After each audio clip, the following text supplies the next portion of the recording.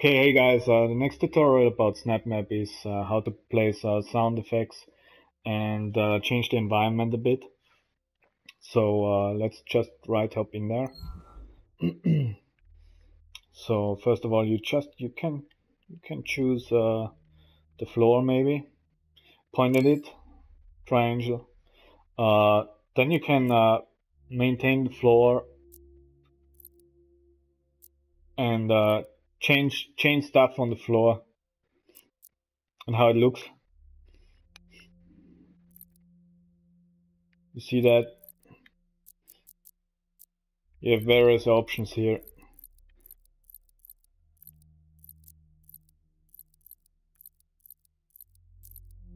You can do that with the walls as well, that's that's pretty cool.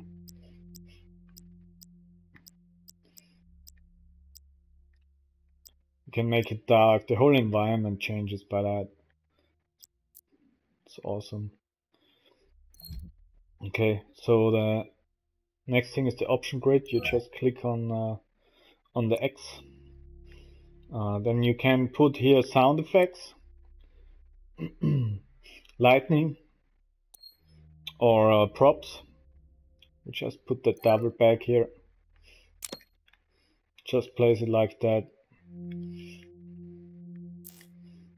Just go back. They want me to go back. Okay, you can choose it then. They want me to place sound effect here. Point of light. And uh, after that, you can have options on when you place the light. You just uh, put the triangle uh, and uh, you can you can adjust even the color and everything. That's pretty cool.